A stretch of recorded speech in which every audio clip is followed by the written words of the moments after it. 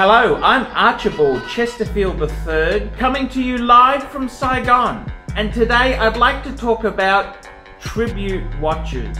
and uh, my good friend Greg Kinder, he came along this to this Vietnam tour and uh, he turns up and says, Oh, I got a new watch. And uh, Greg's done this a few times. He's always bought fucking dog shit. He's bought some real horrors. This time he turns up, he's got an Omega Seamaster Planet Ocean, the Casino Royale 007 version.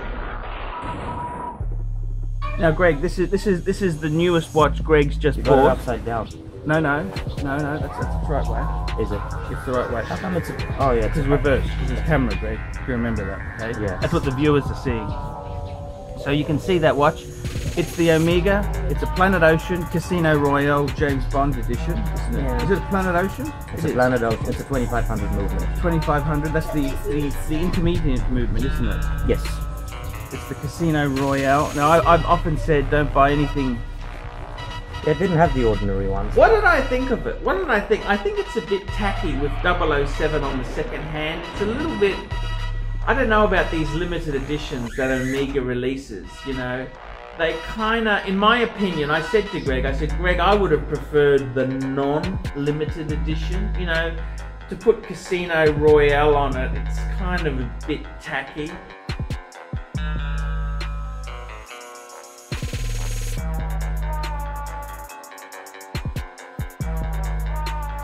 What?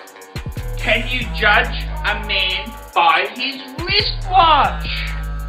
Yes! Can you judge a man by his wristwatch?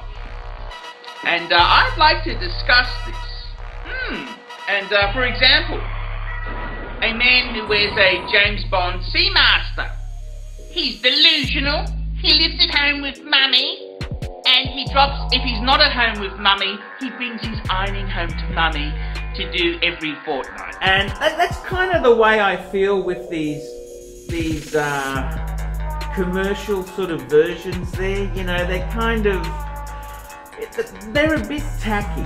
They are a bit tacky, and uh, I don't mind the watch. Don't get me wrong. I think the Omega Seamaster Planet Ocean that Greg has got is a lovely piece. He's always bought fucking dog shit